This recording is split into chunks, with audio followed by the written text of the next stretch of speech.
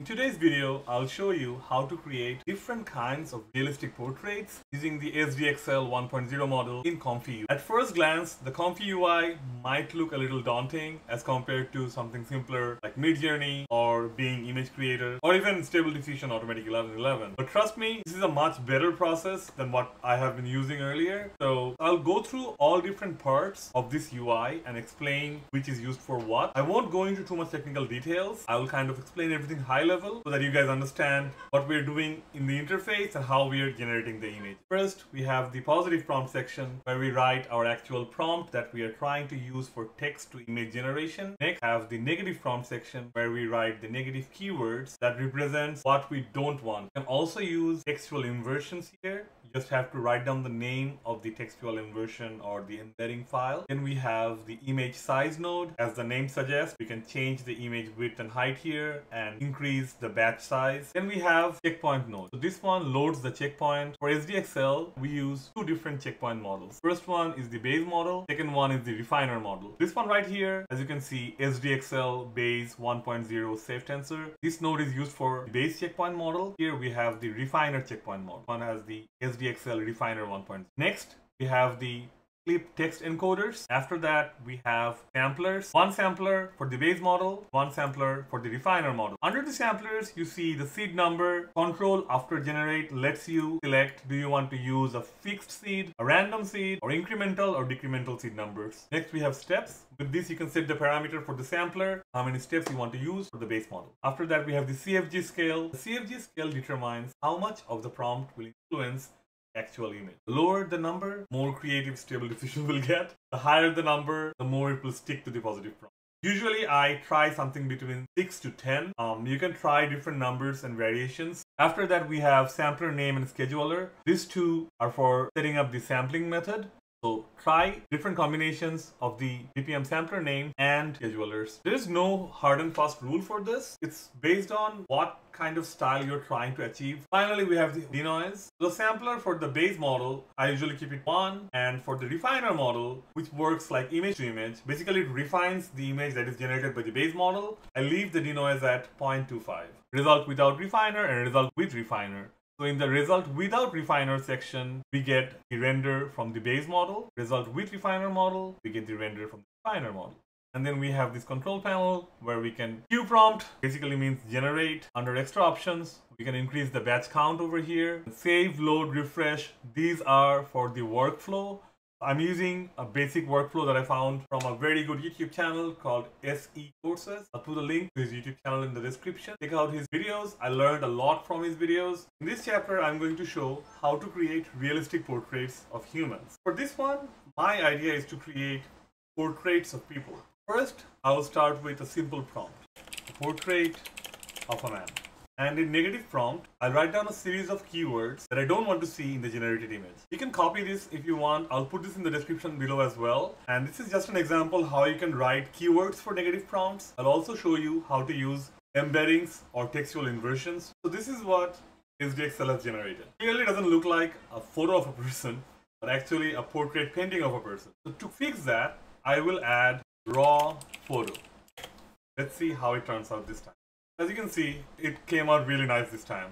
Because I added the keyword raw photo in my prompt, that's why it generated a raw photo. Now if I want to define how I want the man to look like, what's his age, what's his ethnicity, what is he wearing, I can define that. This time I'll write portrait of a 25 year old Mexican man, comma, wearing a black hoodie. As you can see, SDXL has generated a portrait of a 25-year-old Mexican man wearing a black hoodie. Now, he looks a little grumpy. Let's make him smile.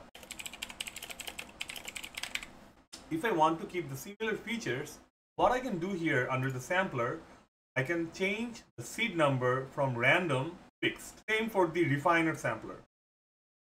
As you can see, we have a smiling Mexican man wearing a black hoodie looking at the camera. Because we fixed the seed number, that's why Stable Diffusion tried to keep similar aesthetics. Now, if we want to define where is he standing, what's the background, it's in a city, it's an interior scene, or out exterior scene, you can always change that by adding more stuff to the prompt. Let's do a stock photo.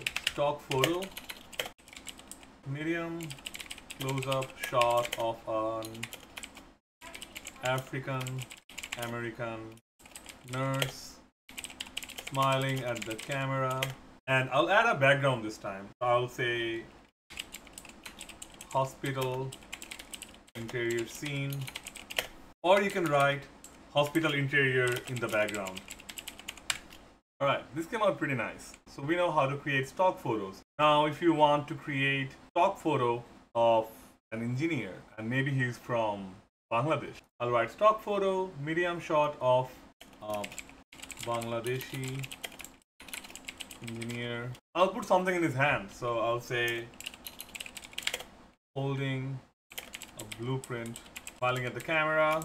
And instead of hospital interior, I will write construction site in the background. And instead of writing a long negative prompt, just write bad dream, comma, unrealistic dream. If I just write those keywords, Stable Diffusion will call the textual inversion and include that in my prompt. Let's see how it looks this time. Alright, this one came out pretty good. Enough with the stock photos. Let's try something a little more creative. Magazine, cover photo, studio portrait of an Italian chef smiling at the camera. Gourmet bakery in the background.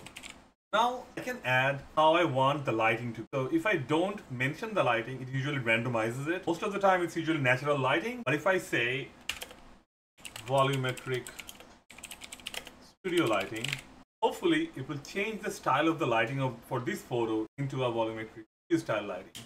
Let's see how it comes out. His eyes are a little crooked in this one. I can definitely fix that in post. Stable Diffusion cleverly hit his hand so that...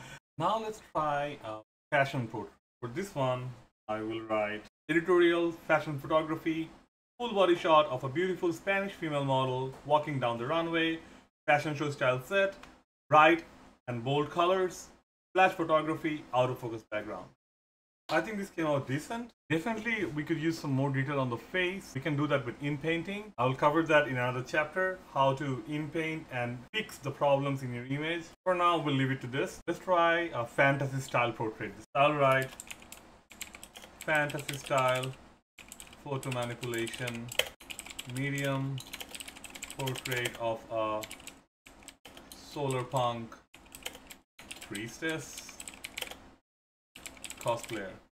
Out of focus background. Alright, soft glow. Backlit and bokeh. And for the negative prompt, I'll just write text embeddings, bad dream, unrealistic dream. Wow, this came out really nice. Look at the details. Details of the materials, aesthetics of the background, the lighting, the golden hour style shot. I always thought that this kind of photos are usually possible with Midjourney. It might be very difficult to produce something like this with Stable Diffusion. But now with SDXL, this is simply amazing. The details. This time, instead of Solarpunk Priestess, we'll do a Cyberpunk Soldier. Fantasy style photo manipulation, I'll write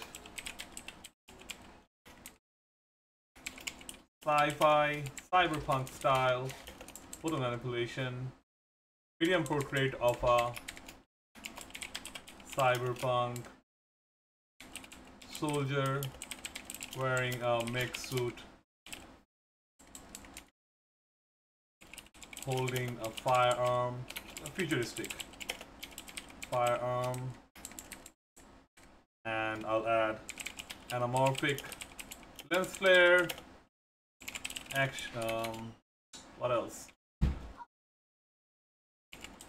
Cyberpunk, cityscape in the background, skyscrapers, night, city, scene. Well, skyscraper. Anyways, alright, let's try this one last time. Okay, this one looks pretty good, right? let's open this. Wow.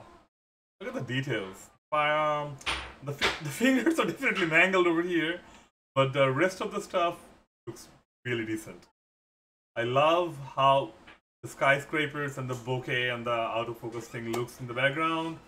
Uh, we don't see any anamorphic lens flare as I asked for, but I'll still take it. Um, there's some part of the glass missing on this side, but hey, it's can't always expect the results to be super perfect. There's still version 1 of Stable Diffusion XL. These principles will work for any kind of image generation platform. So for example, if you're using Midjourney or Adobe Firefly or Bing Image Creator, try using these prompts with a little variation if you need to and see how your results come out. Hopefully you'll get amazing results with this kind of prompts. I would love to see what you guys create. Tag me in your posts, post it on Instagram or Facebook, and let me know if you have any questions. And I'll see you guys in the next one.